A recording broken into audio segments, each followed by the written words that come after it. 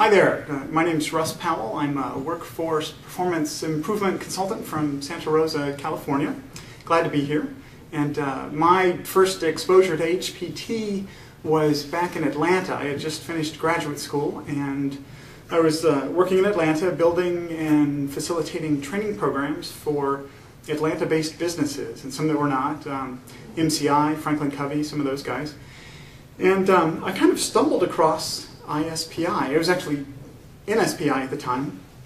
And uh, come to find out, you know, my academic background was in psychology and counseling, education. I was trained to work with students with disabilities, and I discovered I would rather build training programs. And as I was building training programs, I began to see that my programs were kind of like um, sending a child with behavior problems to psychotherapy, only to have them return to a non-supportive environment and end up with you know the same destructive behaviors they had before. And there's a really clear connection for me to make. And I found that uh, people in ISPI or NSPI had a lot of tools and techniques that could help me uh, help my clients do more with the training efforts I was involved in. And um, my relationship with ISPI was secured uh, the, the year before the Atlanta Centennial Olympics, the, the year before Atlanta hosted the Olympics, was 95, the conference was in Atlanta, so I had a chance to attend,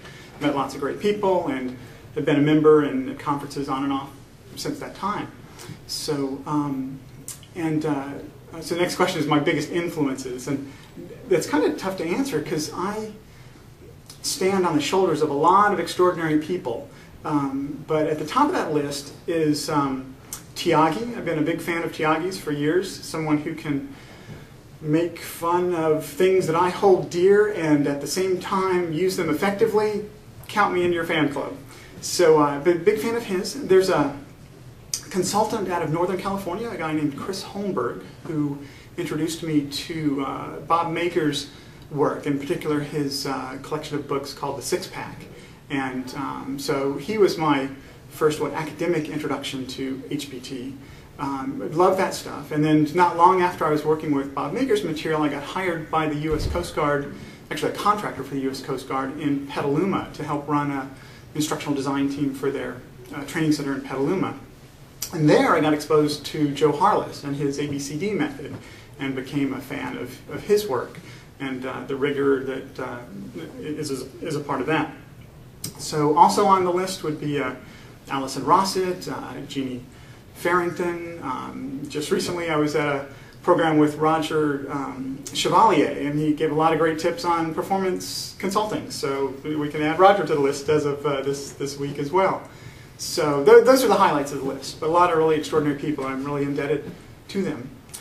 So um, next question is about my 30-second elevator speech, and that's, that's a good one, because I, I usually open with training. I tell people that if, if I say I, I'm a performance improvement consultant, people's eyes roll back in their head. So I usually start with training and explain that I build training programs and tools that support training. And uh, you know, people are quick to agree with me that training is expensive, so I offer to help look at solutions that might be faster, better, cheaper than the traditional training. So I help them do uh, analysis, we come up with some solutions. Sometimes that solutions in, involves training, and if you need training built, I'm your guy. I'm really good at that. I can find other people to do that as well.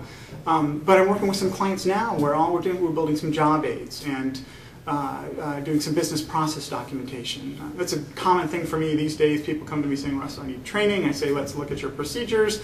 And I get a deer in the headlights. And so we often start with the procedures. And a lot of times we don't even need to go to training. You know, people can, can learn from the job aids without training. So that might have been more than 30 seconds, but that's kind of how I get into to what I do. So, um, and my next focus, um, don't laugh at this, but analysis. I've been doing analysis for years, but it seems like every time I'm here at a conference, I learn new tips and techniques uh, for uh, doing analysis. So wish me luck with that.